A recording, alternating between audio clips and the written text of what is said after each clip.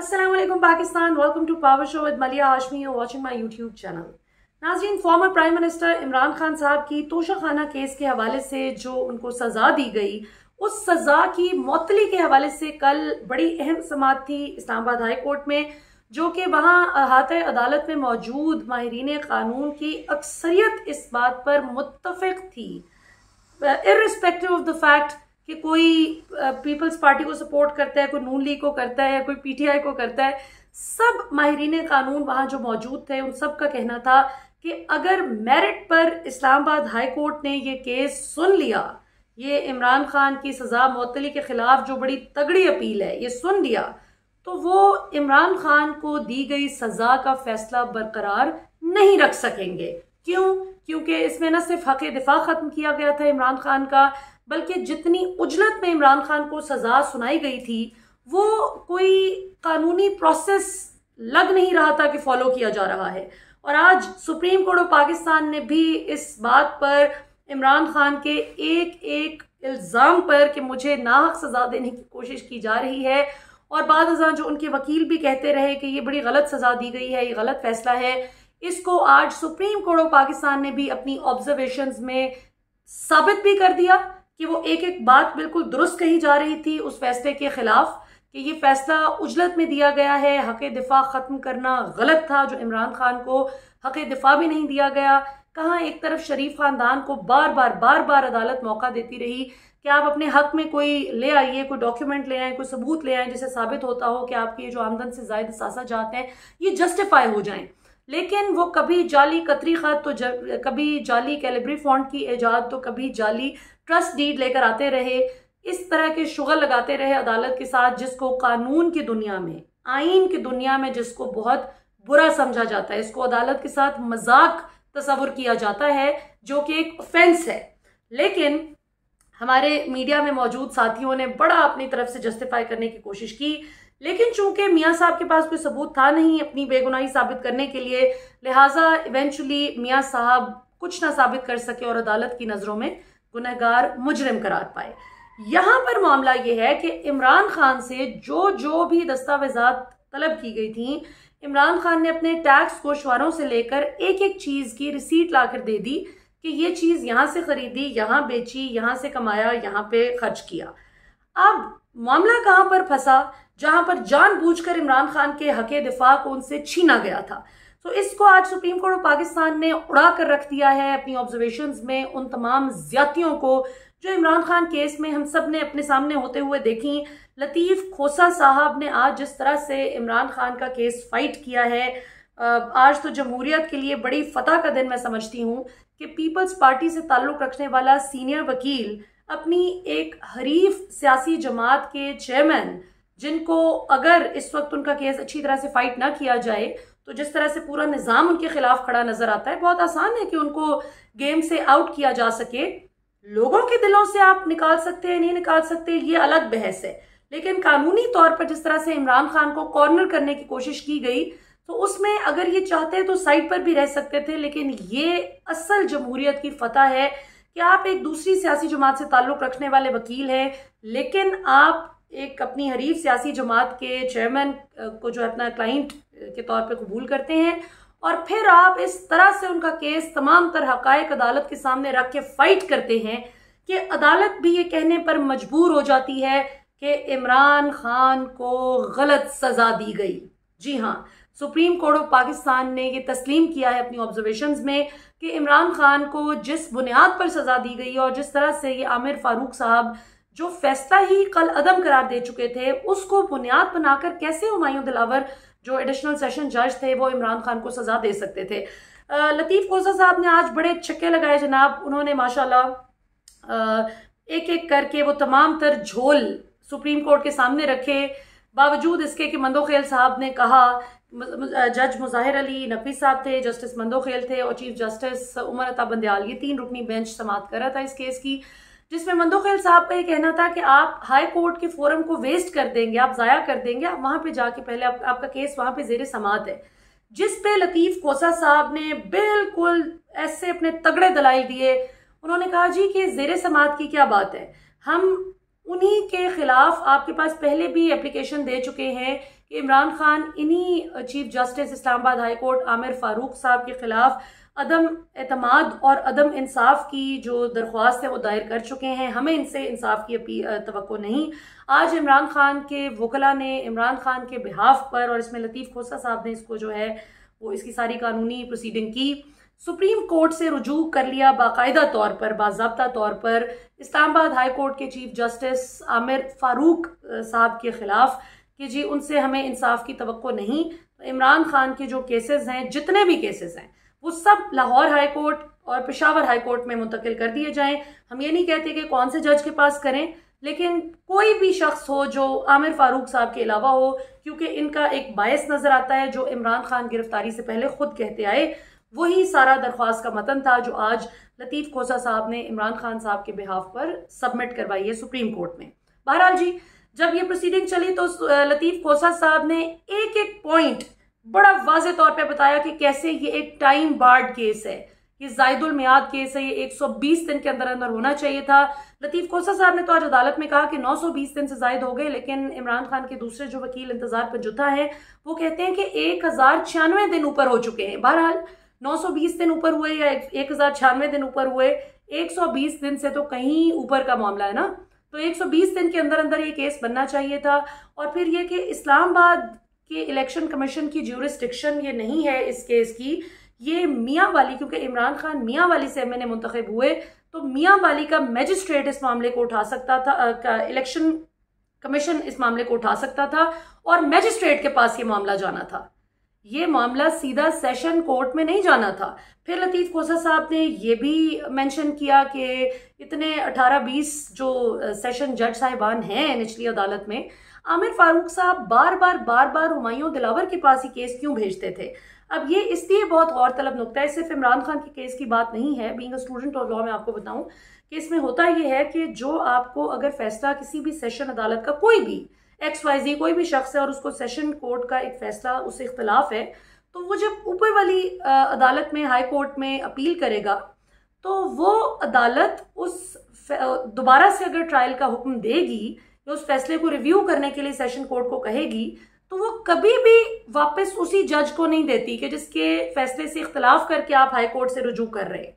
ये कोई भी आप स्टैंडर्ड केस उठा के देख लें, ऐसा नहीं होता कि आप उसी जज के पास वापस मामला भेज दें जिससे तंग आके आपने हायर कोर्ट में मामला गया होता है।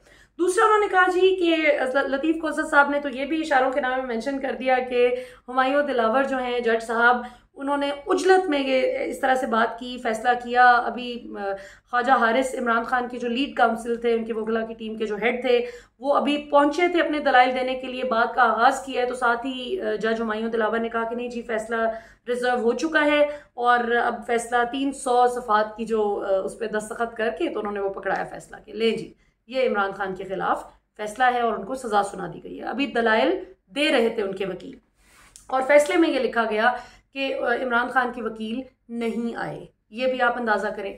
सो जितनी भी गलत बयानियाँ, जितने भी झूठ, जितने भी झोल इस केस में थे हुमायूं दिलावर की जजमेंट में, जितने भी मसाइल थे, और ओवरऑल जिस तरह से इस केस को टेकअप किया गया from the very beginning starting from the case being absolutely time barred time barred case था, फिर मैजिस्ट्रेट के पास जाना चाहिए था सेशन कोर्ट की बजाय पहले, फिर इलेक्शन कमीशन को ये इसको परसू करना चाहिए था, जो उनके डिस्ट्रिक्ट की थी मियाँ वाली की। इस्लामाबाद के अमले का इससे कोई ताल्लुक नहीं था, और यहाँ पे सेक्रेटरी इलेक्शन कमीशन ने किया, उनका भी कोई ताल्लुक नहीं बनता था।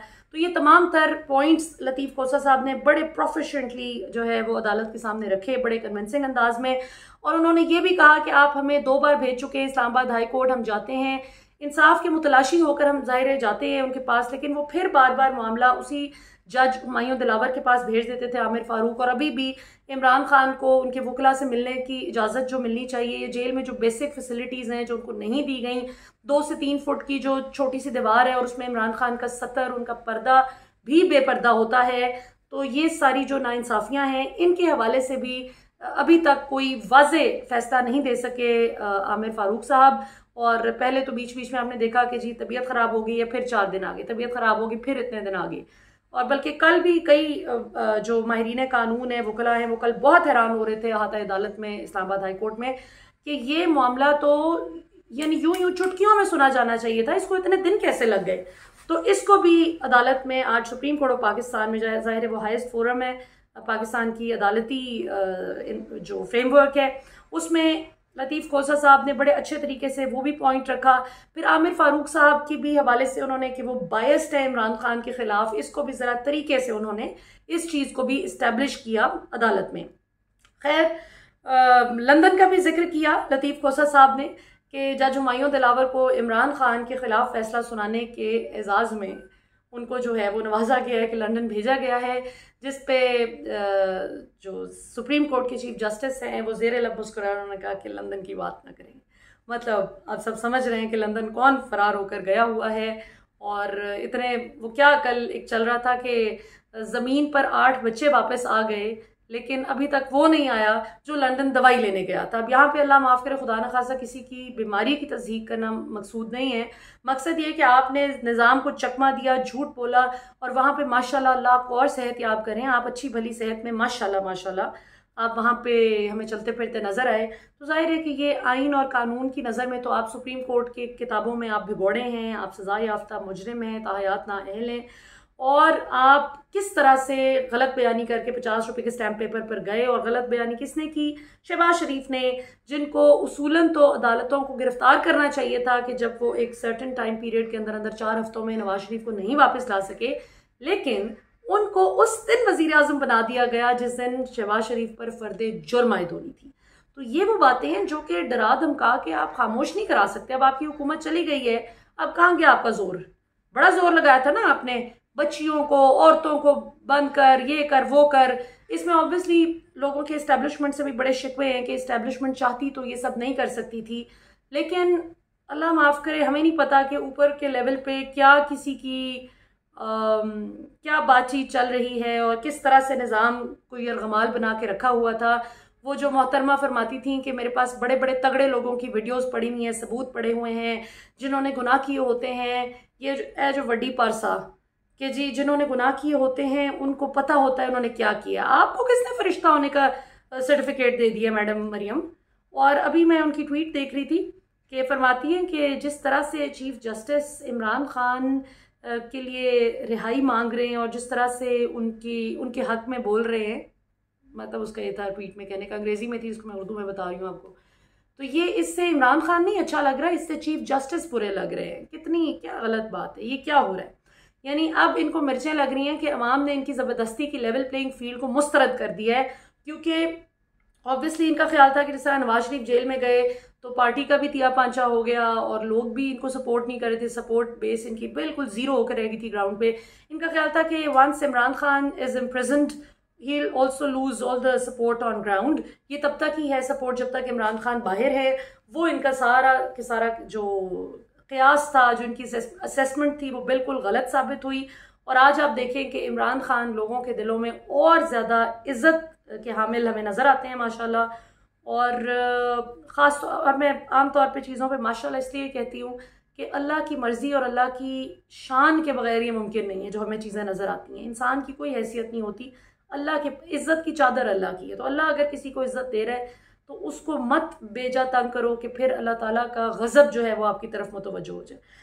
खैर जी आखिर में अब कल के लिए कहा गया है इस्लामाबाद हाई कोर्ट ने वैसे भी जुमेरात तक इसको वो किया था पेंडिंग किया था समात को जबकि इलेक्शन कमीशन के वकील का तो पूरा ज़ोर था कि दो हफ़्ते आगे चली जाए, लेकिन बहरहाल कल उधर भी लतीफ़ कोसा साहब ने बड़े मज़बूत दलाइल दिए, माशाल्लाह, और कहा कि आपने हमारे खिलाफ भी फैसला देना है तो आप दें। फैसला दो भाई, फैसला दो। चाहे खिलाफ भी दे दो ताकि हम सुप्रीम कोर्ट जा सकें। तो आज बड़ा अनॉयड नज़र आए लतीफ़ कोसा साहब बहसीत इमरान खान के वकील, और उन्होंने कहा कि मेरा जो बेचारा क्लाइंट है, वो देखे सत्रह अठारह दिन से जेल की इतनी नागुफ्तब हालात सह रहा है और उसको इंसाफ नहीं मिल रहा और सुन नहीं रहे, आमिर फारूक डिले किए जा रहे हैं और इस पे सोने पे सुहागा ये हुआ, आज बड़ा मज़ा आया। इलेक्शन कमीशन के वकील ने ये तस्लीम भी कर लिया है। कि वाकई इमरान खान से हक दिफा लिया गया है, उनको नहीं हक दिफा दिया गया। तो जब आपका मुखालिफ वकील ये मान जाए कि आपको हक दिफा नहीं दिया गया तो फिर बात क्या रह जाती है? तो ये अल्लाह की शान है, अल्लाह ताला इस तरह भी वही बात, माशाल्लाह, अल्लाह ताला इस तरह भी लोगों के मुँह से सच निकलवा देते हैं। तो देखते हैं जी आगे आने वाले जो अगले चंद घंटे हैं, उनमें क्या डेवलपमेंट्स होती हैं, इमरान खान को बज़ाहिर अल्लाह चाहे तो मेरिट पे फैसला सुनकर इस पे इमरान खान की सज़ा ख़त्म होना अब नागुजीर नज़र आ रहा है राइटिंग ऑन द वॉल अगर अल्लाह चाहे। लेकिन बशर्त यह कि justice chief justice Islamabad high court Aamir Farooq की तबीयत ठीक रहे और वो अदालत तशरीफ़ ले आएँ, ये सब कुछ तभी मुमकिन है। अंदाज़ा करें कि आमिर फ़ारूक साहब कल फरमा रहे थे कि मुझे जेल मैनुअल का नहीं पता, जेल रूल्स का मुझे नहीं पता। जब बात हो रही थी ना कि इमरान खान के साथ ये ये ज़्यादती हो रही है, ऐसे हो रहा है, ऐसे हो रहा है तो उस पर फरमाते हैं कि मुझे जेल रूल्स का नहीं पता। तो अब उम्मीद है कि जो कानून सिखाया है सुप्रीम कोर्ट के तीन रुकनी बेंच ने, उस पर अमल पैरा होकर जिस तरह से मेरिट पर सुनने का हक है, हम ये नहीं कहते इमरान खान को बरी करें, हम कहते हैं मेरिट पर फैसला करें। अब मेरिट पे फैसला अगर इमरान खान के हक में आ रहा है तो ये फिर आपकी, यानी इमरान खान मुखालिफिन की बदकस्मती और इमरान खान और उनके साथ जो पाकिस्तानी अवाम खड़ी है, उसकी खुशकस्मती है।